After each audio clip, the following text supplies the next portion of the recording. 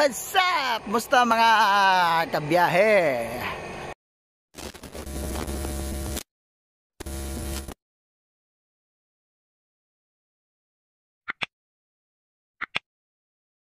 Oh, what's up? Musta mga kabiyahe?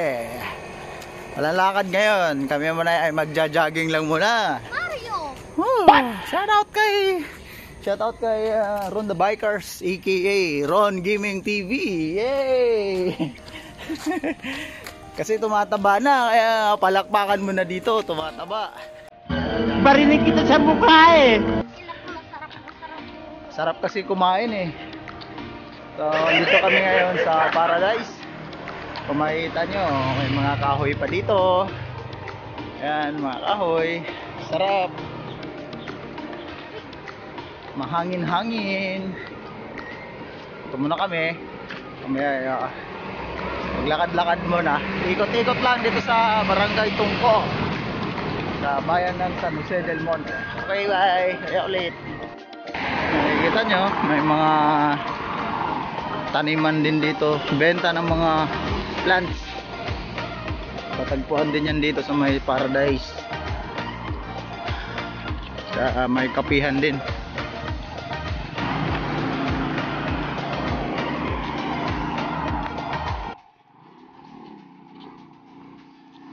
Ano, plants.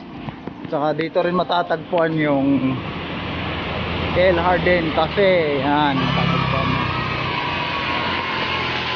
Kapihan din. Ron the Bikers. Laki na ng hita mo ah. Sige. po tayo, lusot po tayo dito. Labas natin ay Qualimid. Yung hospital. Tapos parang tungkong mangga na sa may Jollibee. Nakahingal ah. Whew. Sige lang Ron. Yung body ko oh. Yan na to, dito rin matatagpuan natin ang Los Arcos Resort. Yan.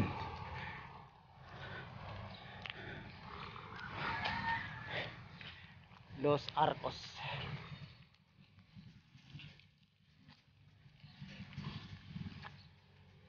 Yes. Sa Qualimed. Qualimed. Hospital.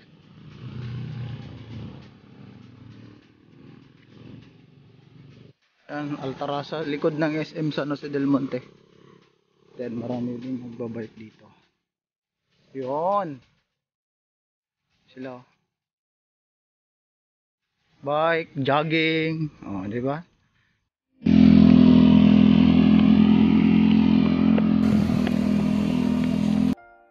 nagsusumba pa pala dito sumba ah, ah no.